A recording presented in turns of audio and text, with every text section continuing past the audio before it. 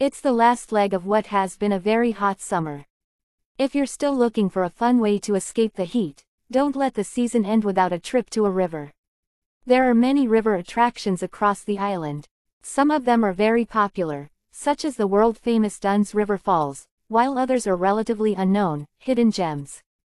It's impossible to name all of them here, but Observer Online has compiled a list of 10 rivers you could consider for a getaway. 1. Cane River Falls Cane River Falls is a beautiful hidden gem in Bull Bay, St. Andrew, with clear waters featuring a fantastic view of breathtaking waterfalls. Admission is a relatively affordable 200 Jamaican dollars. 2. White River, Street Mary Old Spanish Bridge White River is among the longest rivers in Jamaica, flowing for 27 kilometers and resting on the border of St. Ann and St. Mary. The captivating river flows beneath the historic, Old Spanish Bridge, which was built in the 1770s, and is a delightful spot for swimming. The attraction involves a rope swing where patrons can dive into the river. 3.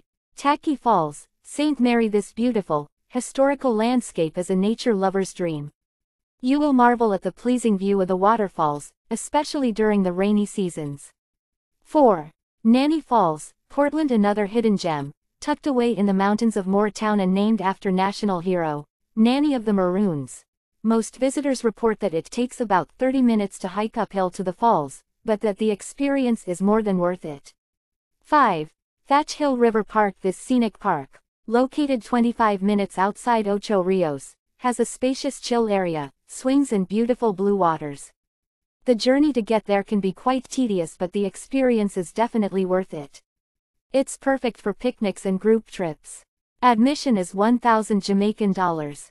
6. YS Falls, Black River Street Elizabeth One of Jamaica's finest natural attractions with a scenic view of seven waterfalls cascading into natural swimming pools amid lush gardens. For residents, admission is $1,750 for adults and $1,000 for children aged 3 to 15. For non-residents, admission is 20 United States dollars for adults and 12 United States dollars for children.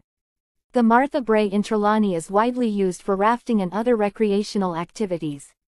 7. Martha Brae, Trelawny This popular tourist attraction is famous for bamboo rafting. The destination embodies everything that a nature lover would want. The sun peeking through bamboo that arches above the river makes for an enthralling view. 8. Kwame Falls, St. Mary located in the north coast parish of St. Mary, this beautiful hidden gem is the dream of any nature lover. 9. Somerset Falls, Portland This lush tropical paradise is situated in Hope Bay, Portland. Admission is 600 Jamaican dollars for locals and 14 United States dollars for non-residents on weekdays. On weekends, admission is $950 for locals and 20 United States dollars for non-residents. 10. Reggae Falls While not entirely natural, the waterfall, which cascades into the Johnson River, is the result of an abandoned hydroelectric plant. Reggae Falls is a hidden paradise in St. Thomas, located in the rural community of Hillside, just outside of Seaforth. It's a rocky ride getting there, but it's worth it.